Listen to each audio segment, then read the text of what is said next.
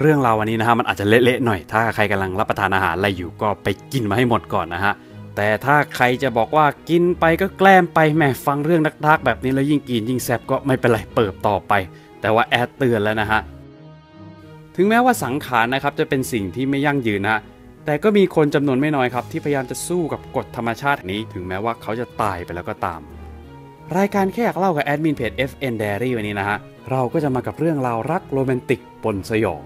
กับเรื่องราวของความรักที่ชายผู้หนึ่งเนี่ย เขาได้มอบให้แก่รักแท้ของเขาอย่างสุดจิตสุดใจเลย เริ่มแรกนะครับ แอดจะขอแนะนำเพื่อนๆให้รู้จักกับตัวละครเอกของเราก่อน ชื่อคุณหมอทันสเลอร์ซึ่งเขาเกิดเมื่อวันที่ 8 กุมภาพันธ์ 1877 ฮะ อันที่จริงต้องบอกว่าเขาเป็นคุณหมอดีไหมเนี่ย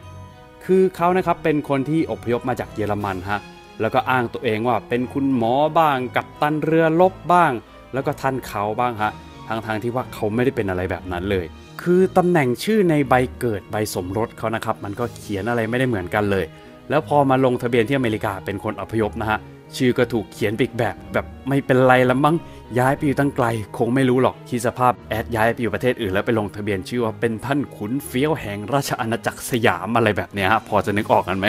หลายๆ คนคงจะบอกเพ้อเจ้อ แต่ความเพ้อเจ้อเนี่ยแหละฮะก็คือกุญแจทั้งหมดของเรื่องนี้ อันที่จริงแล้วเนี่ยบักทันสเลอร์นะฮะเขาเป็นเพียงแค่นักรังสีวิทยาผู้โดดเดี่ยว ที่ประจำอยู่ที่โรงพยาบาลนาวิกโยธินแห่งหนึ่งในรัฐฟลอริดาเท่านั้นเองฮะ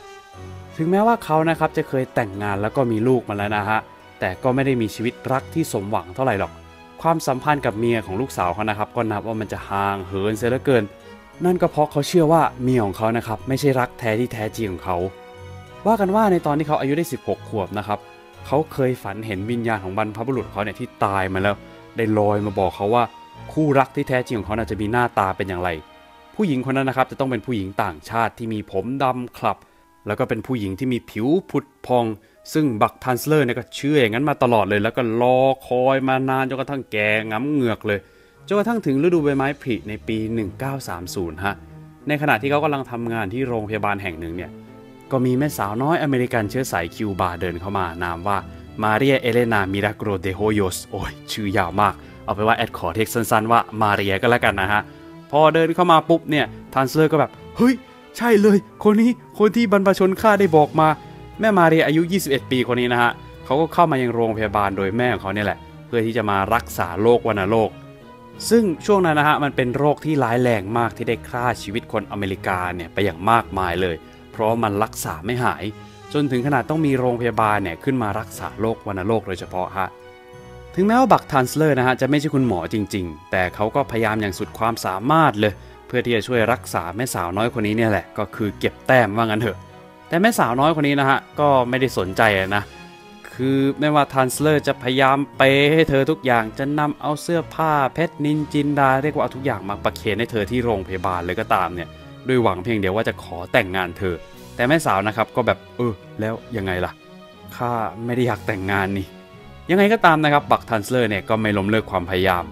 นอกจากจะหาของมาให้แล้วเนี่ยเขาก็ยังได้ทดลองสูตรทุกอย่างเลยไม่ว่าจะยาบำรุงรังสีสารพันเพื่อที่จะหาหนทางรักษาโรคร้ายที่มาเรียเนี่ยเป็นอยู่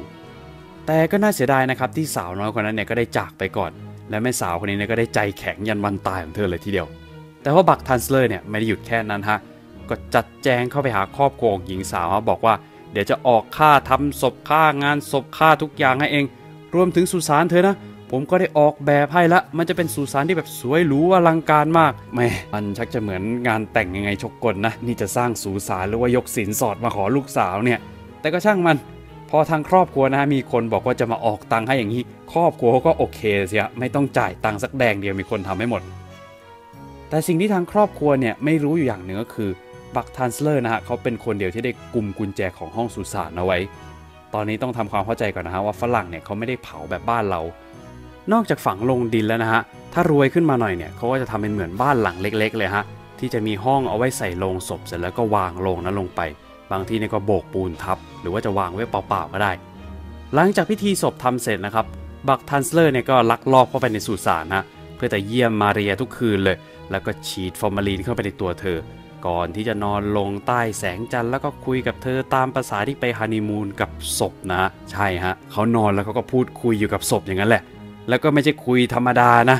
ในสุสานเนี่ยบักทานสเลอร์ก็ยังได้แอบติดตั้งโทรศัพท์สายตรงเพื่อที่จะได้คุยกับเธอทุกคืนเลย คือถ้าวันไหนเขาไม่สามารถไปหาเธอได้นะครับเขาก็จะโทรศัพท์เนี่ยแหละคุยกับเธอจนถึงรุ่งสางเลยก็ไม่รู้คุยอะไรได้เนอะ แต่ก็นั่นแหละฮะก็คุยมันถึงเช้าเลย และด้วยความที่ว่าเขานอนดึกตื่นสาย หลังๆนะครับการงานหน้าที่ของเขาเนี่ยก็บกพร่อง บักทานเลอร์นะครับก็ไม่ค่อยจะโผล่หัวไปให้เจ้านายเขาเห็น จนในที่สุดเนี่ยเขาก็ต้องถูกเชิญออกจากงานไปในปี 1933ฮะแล้วด้วยความที่ว่าเขาไม่ต้องไปทำงานแล้ว เขาก็มีเวลาที่จะอยู่กับคนรักของเขามากขึ้นฮะแต่แบบจะไปไปมามาระหว่างสุสานเนี่ยมันก็ลำบาก นี่เราก็แต่งงานกันมานานแล้วนะ ถึงเวลาแล้วละมั่งที่เจ้าสาวเนี่ยจะย้ายมายังบ้านของเรา เมื่อคิดได้ดังนั้น บักทานสเลอร์ก็แอบลักลอบเข้าไปในสุสานขุดหลุมศพของมาเรียเนี่ยเปิดห้องเก็บศพ แล้วก็ลงศพของเธอนะครับ ขึ้นมายังบนรถลากกากๆแล้วก็ลากกลับบ้านเข้าไปเหมือนกับเวลาที่รถงานแต่งฮะลากเจ้าสาวกลับบ้านอะไรอย่างนั้นเลยคือโรแมนติกมากก่อนที่จะไปฟังเรื่องราวต่อไปเนี่ย ถ้าหากใครเห็นว่าคลิปนี้สนุกก็อย่าลืมแชร์ต่อให้เพื่อนๆฟังกันด้วยนะครับผม หลังจากที่เอาลงศพขึ้นรถลากแล้วเนี่ยด้วยความที่เฮียแกคงไม่ได้คำนวณมามังว่ามันคงจะหนักมาก พอลากรถลากไปได้สักพักหนึ่งนะฮะน้ำหนักของโลงเนี่ยก็ทุ้งให้รถลากเนี่ยหักลงมาโครมเฮียแกก็แบบเหลือกตามองบนแป๊บ อุตส่าห์จะทำฉากสวยๆ พาสาวกลับบ้านไงเป็นงี้วะ แล้วจะกระเตงลงศพกลับบ้านยังไงเนี่ย แต่ก็แบบไม่ได้ขุดออกมาซะขนาดนี้แล้วก็เลยต้องทำต่อฮะ ก็รวบรวมพละกำลังที่มีมาทั้งหมดเนี่ยนะครับ ลากโลงศพไปตามถนนจนกระทั่งกลับมาถึงบ้านนี่แหละฮะ เมื่อถึงบ้านแล้วนะฮะ ทานสเลอร์เนี่ยก็ได้นำเอาร่างของเธอเนี่ยไปไว้ยังแลบซึ่งเป็นที่ที่เขาอาศัยอยู่หลังจากที่ถูกไล่ออกมาจากงานนั่นแหละฮะที่บอกว่าเป็นห้องแลบนี่ก็คือความมโนของเฮียนะฮะเพราะจริง ๆแล้วเนี่ยมันเป็นกระท่อมไม้ผุๆที่เฮียแกเขาจินตนาการว่ามันเป็นห้องแลบถ้าคิดว่ามันเพอเจอแล้วนะฮะเดี๋ยวก่อนห้องแลบนี่มันยังเป็นเพียงแค่ส่วนหนึ่งฮะเฮียแกยังได้สร้างยานอวกาศขึ้นมาอีกมีชื่อว่า Elena Spaceship ซึ่งก็เป็นยานที่เฮียแกเนี่ยหวังว่าถ้าวันไหนสำเร็จนะ เขาจะนำร่างของเธอเนี่ยขึ้นไปยังอากาศ แล้วก็ให้รังสีต่างๆ ที่มันอยู่บนชั้นบรรยากาศนอกโลกเนี่ยเจาะทะลุผิวหนังเธอฮะหลังจากนั้นก็ทำให้เธอเนี่ยฟื้นคืนชีพขึ้นมา แต่ก็ดูเหมือนว่างานวิจัยนี้นะครับมันคงจะทำไปยาวนานหน่อย ก็ 2 ปีแล้วนะฮะหลังจากที่เธอได้ตายไป ซึ่งร่างกายของเธอที่อยู่ในห้องเก็บศพที่ไม่มีแม้กระทั่งแอร์ไม่มีอะไรเลยที่จะมารักษาศพเนี่ยมันก็ค่อยๆเน่าลงฮะ ประกอบกับไอแรงกระแทกเมื่อกี้ที่แบบเล่นเอาศพของมาเรียเนี่ยสะดุ้งกันเลยทีเดียวก็เลยทำให้ร่างนางเนี่ยหลุดออกเป็นชิ้นๆฮะแต่บักทานสเลอร์ของเรานะครับก็ไม่ยอมแพ้ครับ เอากระดูกของแม่นางเนี่ยมาเย็บต่อกันด้วยเอ็นจากเปียโน แล้วก็ใช้ขี้ผึ้งแล้วก็ปูนขาวเนี่ยโบกเข้าไปทับเอาผิวหนังที่เปื่อยยุ่ยของนางนั่นแหละ หลังจากนั้นนะครับก็ใช้น้ำยาเคมีเนี่ยฉโลมร่างกายของนางใหม่ให้มีกลิ่นเหมือนกับเนื้อหนังมนุษย์เลย แต่ถึงยังไงก็ตามนะครับร่างกายมันเนี่ยก็ต้องย่อยสลายไปเรื่อยๆใช่ไหม จนในที่สุดนะครับเขาก็เลยต้องหาอวัยวะเทียมเนี่ยมาใส่ให้นาง ก็อย่างเช่น เอาไม้แขวนเสื้อเนี่ยมาทำเป็นกระดูก เอาลูกแก้วมาทำเป็นลูกตาปลอม หรือว่าจะทำวิกที่ทำขึ้นมาจากเส้นผมของเธอจริง ๆ ที่เขาได้เก็บเอาไว้หลังจากตอนที่เธอเสียชีวิตนะฮะส่วนท้องและหน้าอกของเธอเนี่ยเขาก็ได้ยัดผ้าไว้เพื่อให้มันได้คงรูปนะฮะ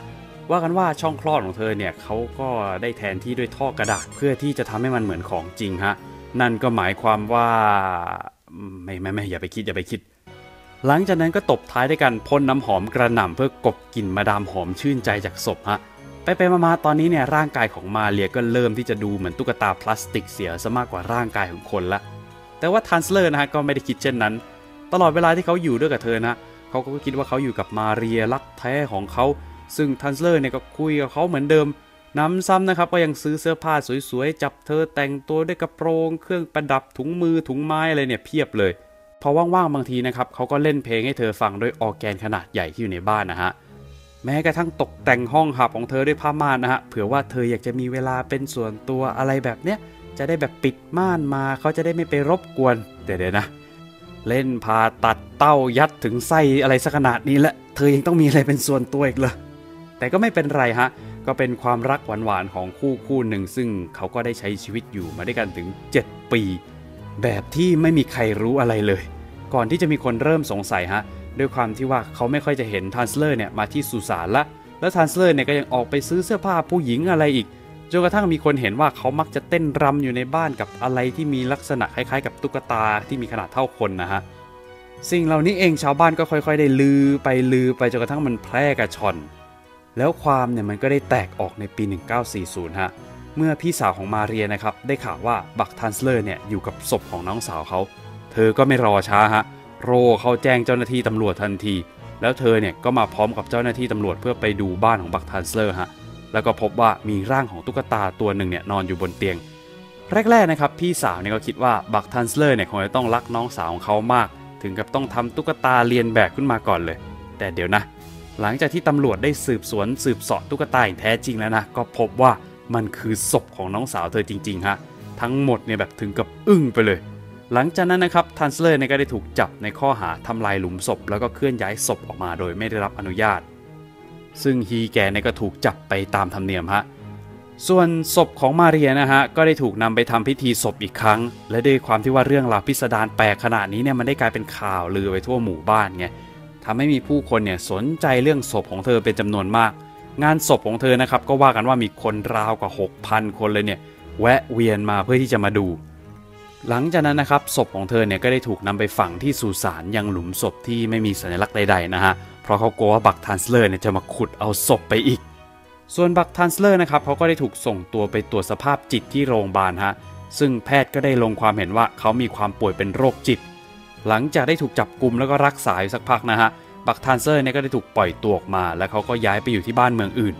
แต่ด้วยความที่ว่าความรักอมตะของเขานะมันยังไม่หมดไป เขาก็เลยได้สร้างหุ่นขี้ผึ้งตัวเท่าของมาเรียขนาดจริง ๆ ขึ้นมาเนี่ยแหละ แล้วก็อาศัยกินอยู่กับเธอแบบลับๆเป็นเวลาหลายปีเลยฮะจนกระทั่งมีคนมาพบว่าร่างกายของเขาเนี่ยเป็นศพนอนเสียชีวิตอยู่หลังเครื่องออร์แกนส่วนตัวเครื่องโปรดของเขา แต่ก็มีคนแต่งตำนานให้มันดูโรแมนติกขึ้นไปอีกฮะ คือบอกว่าบักทันสเลอร์เนี่ยได้นอนตายในอ้อมกอดของตุ๊กตาหุ่นขี้ผึ้งมาเรียภายในบ้านนั่นแหละ ชีวิตของบักทันสเลอร์นะฮะก็มองได้หลายแง่มุมนะ มุมหนึ่งเนี่ยก็บอกว่าเขาเป็นคนบ้าที่ทำเรื่องสยองขึ้นมา แต่อีกมุมหนึ่งนะครับก็มองว่าเขาเนี่ยเป็นชายที่โรแมนติก แต่ในส่วนของนักวิชาการบางส่วนนะฮะเขาก็ได้มองว่าเรื่องนี้เนี่ยอาจจะมีประเด็นการกระทำชำเราศพขึ้นมาเกี่ยวด้วยจำได้ไหมเรื่องที่แบบเอาท่อกระดาษไปยัดใส่ไว้ในช่องคลอดของศพ